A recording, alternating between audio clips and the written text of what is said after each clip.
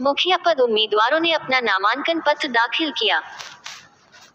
गोमो, धनबाद जिला के तोपचाची प्रखंड मुख्यालय में त्रिस्तरीय पंचायत चुनाव को लेकर नामांकन शुरू हुआ, जिसमें मुखिया प्रत्याशी वार्ड सदस्य ने बढ़ चढ़कर फॉर्म जमा करने में हिस्सा लिया। कोरकोटा पंचायत से सावित्री देवी पति चिंतामणि साव लेदातान से नूरा जहाँ बेगम पति जुल्फिकार अंसारी। जीतपुर से जाबिर अंसारी ने अपना नामांकन पत्र दाखिल किया। वहीं छिहत्तर फर्मों की बिक्री भी हुई।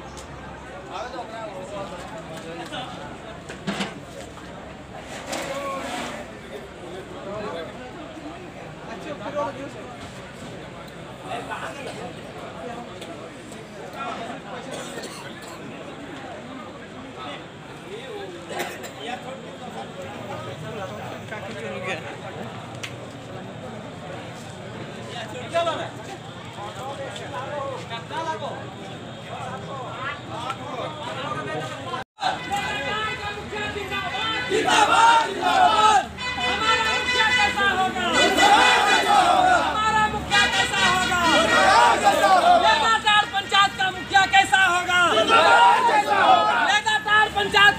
कैसा होगा? लगातार पंचायत का मुखिया कैसा होगा?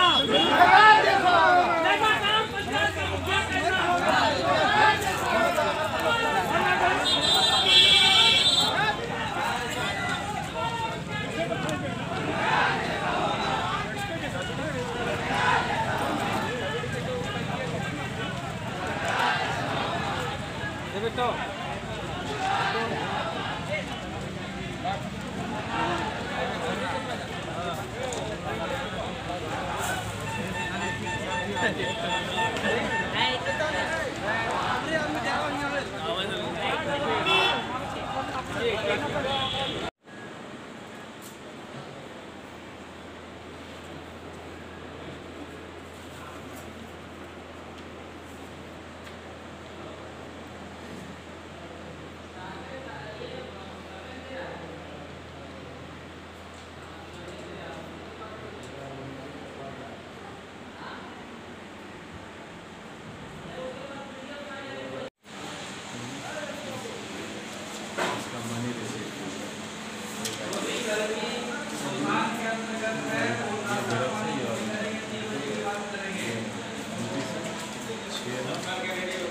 इसका परिशिष्ट चार्ज है इसमें परिशिष्ट चार्ज बनाया है।